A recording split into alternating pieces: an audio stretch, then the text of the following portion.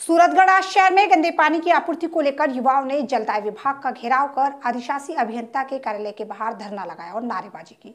प्राप्त जानकारी के अनुसार युवाओं ने अधिशासी अभियंता अजय शारण को ज्ञापन सौंपा।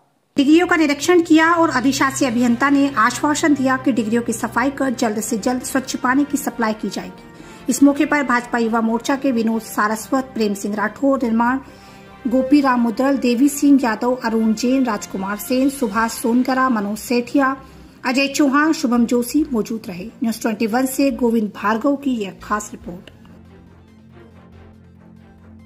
करवाया गया कि इनके पानी की काफ़ी समस्या है गंदा पानी सप्लाई हो रहा है तो अभी इनके साथ जाके फ़िल्टर की जाँच की गई है। कर्मचारियों ने आदेश दिए गए कि जल्द से जल्द इन फिल्टरों में साफ़ सफ़ाई किए, नियमित साफ़ सफ़ाई करते रहे, ताकि आमजन को शुद्ध पेयजल की सप्लाई की जा सके।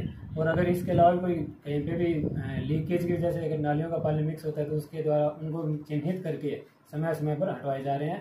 और भविष्य में भी ऐसी शिकायतें वापस आती है तो उनको तुरंत एक्शन लेके उनको भी दुरुस्त करवाया जाएगा। जलदाय विभाग के सहायक अभियंता कार्यालय में वार्डवासियों के द्वारा अलग अलग वार्ड के बत्तीस नंबर, चालीस नंबर, ग्यारह नंबर वार्ड के वार्डवासियों द्वारा आकर के ये जो साफ़ सफ़ाई पानी नहीं मिल रहा है, उसके बारे में यहाँ पर ज्ञापन देने के लिए सहायक अभियंता को दिया। और प्रत्येक वार्ड में स्वच्छ और साफ़ पानी की मांग की गई, डिग्गियों सफ़ाई की मांग की गई, मरे हुए कबूतर निरीक्षण करने पर मरे हुए कबूतर कई जमी हुई, ज़बरदस्त तरीके से कोई साफ़ सफ़ाई का नाम नहीं है, ये यहाँ पर मिला है। इसके लिए हम सहायक अभियंता को चेताया है। आगामी दिनों में आंदोलन करेंगे, अगर नहीं होगा